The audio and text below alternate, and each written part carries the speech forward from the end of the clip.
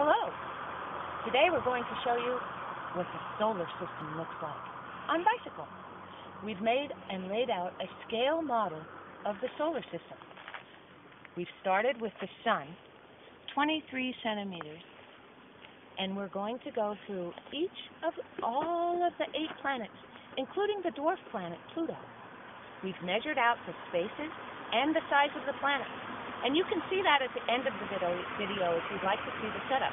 But we'll show you just how much space is in space.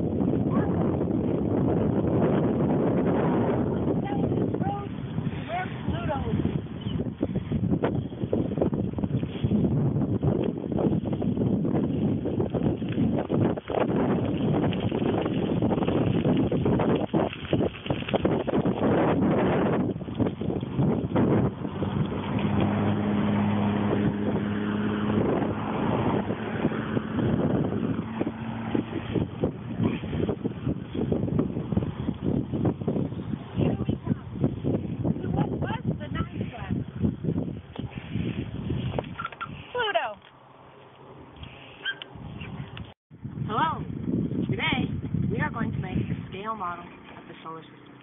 We're going to ride my bicycle through space, all the way through all eight, maybe a dwarf planet as well. We're going to start with the sun. Here is the sun. 23 centimeters in our scale, a big purple sun. We're going to place it here and then ride our bike to our first planet, Mercury. But here's the sun. Okay. Okay, we've gone 10 meters from the sun, so now we are where Mercury would be. And Mercury is one millimeter. One tiny little millimeter is the size of Mercury. Just a pinhead. A tiny pinhead the size of Mercury. It's amazing how small Mercury is. Now, let's go on to Venus. So here we are now. We've traveled through space another eight meters from Mercury. And here we have Venus, a shiny little blue planet, only two millimeters wide in our scale model.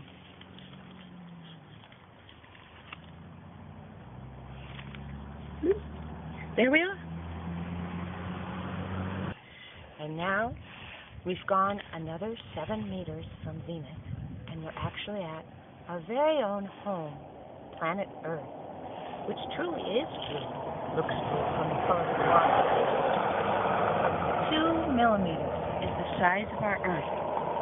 Our sun is that large purple ball, and our tiny little planet is only two millimeters wide. Now we'll travel to Mars. And now we're at Mars. We've gone 13 meters from the planet Earth, and we've arrived at the planet Mars. Again, only the size of a finger.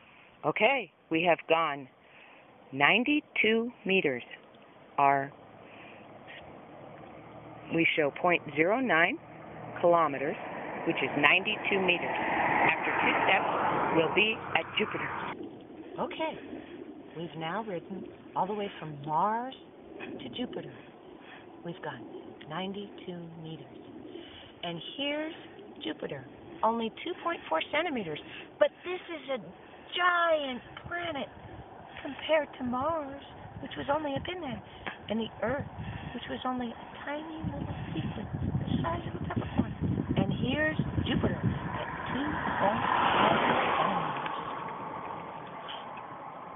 We've ridden our bike 0.11 kilometers, but actually Saturn is only 108 meters, so we have to walk back two meters.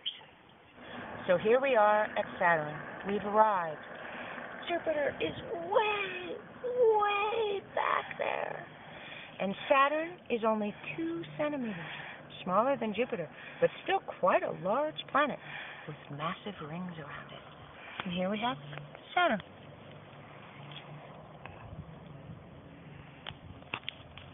And now, as we get on our bike, we're going out into the deepest part of space. And spaces get massive. We have to go 240 meters on our bicycle next to get to Uranus. Here we are. We've ridden 0.24 kilometers, 240 meters, all the way out in deep space with Uranus. Here we are now at Uranus. Uranus in our scale model is only the size of a peanut, 9 millimeters, 240 meters from Saturn.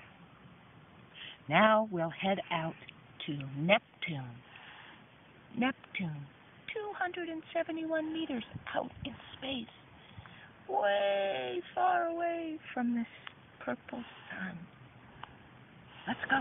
So we've gone 0.27 kilometers, 270 meters, and now we've arrived at the spot where Neptune is, out in deep, deep space. So we've arrived in deep outer space, the outer reaches of the solar system.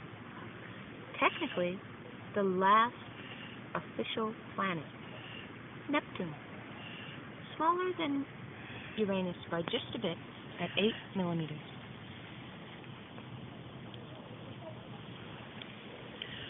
We're going to go ahead and include in our scale of the solar system the dwarf planet, Pluto, not really considered a planet now by astronomers, but still a unit of measurement that gives you an idea of what the vastness of space is.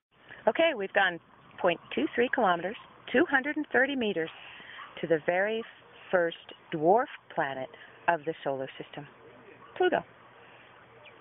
Okay, we've reached the end of the solar system as we know it. When I learned the solar system, Pluto was a planet, but now it's not.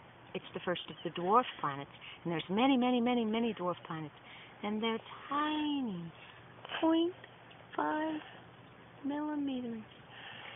Tiny, tiny, tiny.